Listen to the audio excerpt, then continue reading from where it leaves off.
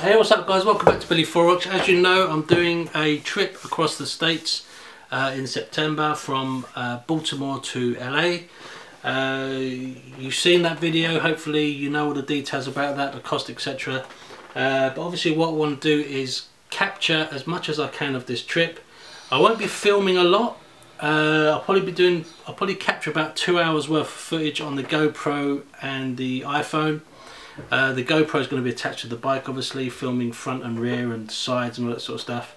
Uh, it's going to be mostly for um, uh, going through the Appalachian Mountains and then a bit of Route 66, some of Arizona, some of the Bonneville Salt Flats if we get to it. Uh, maybe going through Vegas, that'll look quite cool, going through the Strip. Um, and onto the Pacific Coast Highway. Those are the main sort of filming areas uh, the ones that are probably going to be the most, um, what's the word, kind of picturesque. So with that in mind, and you know the bike I have is a Triumph Explorer, it's got the um, tube frame and the tube subframe, so it's ideal for mounting a GoPro to get all the footage that you need. So with that in mind, I have bought myself a RAM mount. Now you guys probably have heard of RAM. They do uh, really, really incredibly strong mounts for um, all sorts of uses. Uh, they use these in the military, automotive uh, industry, um, studios, you know, all that sort of stuff. They're very strong, they're very simple, they're made out of very durable stuff. Uh, they absolutely will not break. I mean, um, you, would have to whack it with a hammer to do any damage to this thing. So that's the RAM mount. Um, this is the, the medium size one. It comes in uh, the, largest one is probably about twice the size. I didn't want anything too big kind of poking out the bike in case it caught on something. If I'm leaning over too far and it catches on the on the curb or the road and it smashes the camera off and the camera rolls down the road and I keep going that way. So I've gone for the medium size one because obviously with the GoPro with the super wide view it captures everything anyway. So there's no need. You can kind of sacrifice space on here because the GoPro's got such a wide uh, uh, field of view. So that's the mount. This part goes on anywhere that you have a tube um, location. So for example your handlebars, your crash bars, your rear subframe, your uh, tail rack if it's a kind of tubular one. Uh, so anywhere it's got a tube that will clamp onto that. With these kind of uh, U-bend kind of screws, clamp things they got there. So that goes onto that. That goes onto the frame. And then while when, when the clamp bit is on the frame, so you know if obviously those guys that have heard of RAM know what it's all about, but those that haven't, I'll just share it with you guys. Um, so that bit goes on the frame with the kind of U-bend uh, screw there. And on the top here for the GoPro I've bought myself a ball mount to go on the bottom of the camera alright so what it means is you've got a very versatile um, position to film anywhere you want. Capture all the different angles. Let's get this in there Oh, bloody hell, it's tough. Once it's on, that is it. It's not going anywhere. Jesus. That's not even tight and I can't even move it. Okay, so so there you go. That's the that's the entire system there. So you can see you can see how um, maneuverable it is. So that bit will go into the bike. You can have it point in let's loosen it off a bit more. So that's not even tight. Look it's, it's that tight. And yet it's hard to move the camera. So like I said that'll go into the frame. You can have it looking that way. You can have it poking right out and then you just turn that up and have it looking that way. If you want it going behind you you can have it looking that way. So it's really adaptable to whatever situation you need to put it in. And I've got two of these mounts so instead of unbolting this all the time all I have to do is just take that off and then put that onto the other mount on the bike. So I'm going to put two of these on the bike and I've also bought another sticky mount. So this will go on the towel rack, the Touratech towel rack that I fitted a few weeks ago. Uh, the idea is, is to film everything that's behind me. So with my mate that's coming on the trip, if he's going to overtake me, I'll tell him, you know, go back like half a mile, accelerate towards me, then go around me. You know that kind of look they do on the programs. That's for that. So that's all the gear, all the clamps, all that business. Let's get down to the bike, set it up, and I will give you a preview of how each position looks. So it gives you an idea of how the video is going to look and everything like that.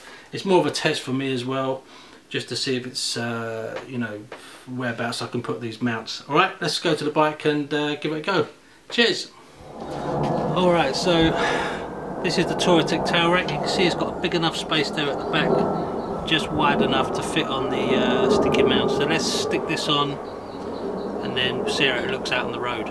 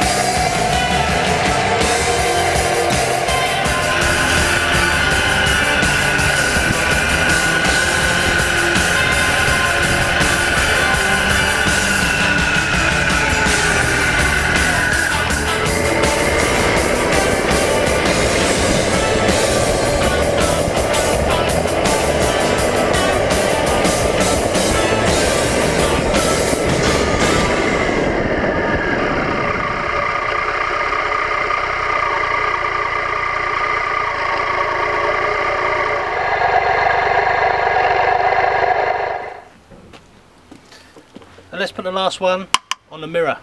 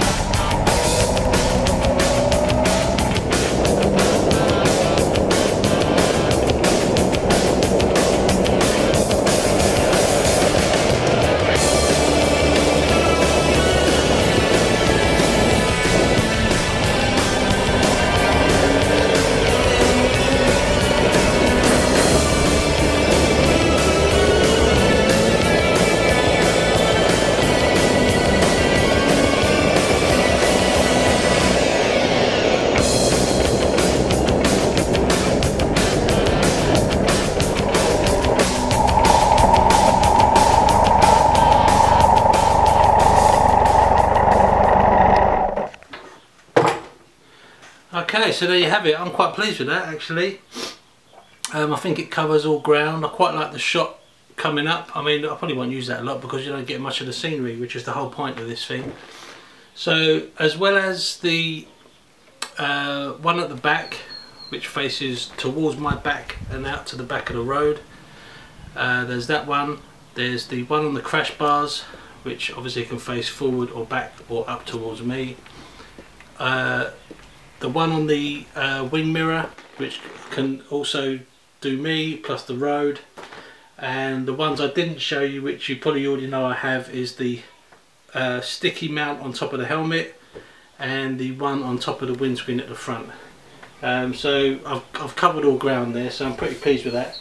Um, yeah so I think what I'll do is I'll just like I said before, do a, do like half an hour here and there every other day. Get the best of each. Try and get as much scenery in as possible with a lot of still shots as well. And um, we'll see how we go from there. But I think I'm pretty pleased with the results with that. One thing I forgot to mention beforehand is um, with all this camera work I'm doing the stuff is I've got an Instagram account set up, the Billy Four Rocks Instagram account. Uh, I'll put the link at the bottom of this video. Um, basically it's just pictures I've taken over the years if you're interested of all the bike uh, journeys I've been on, pictures that you haven't seen on the uh, YouTube channel. Um, and yes, have a look. I'll put the link up um, and you, you, might like it. Take it easy, see you soon and uh, be safe. Adios.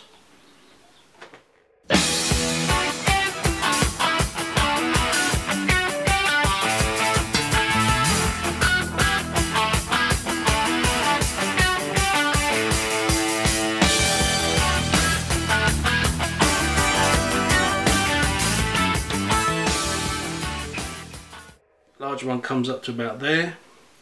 It's just got a spring in the middle to, to keep it keep it open. Oh fuck. Sorry.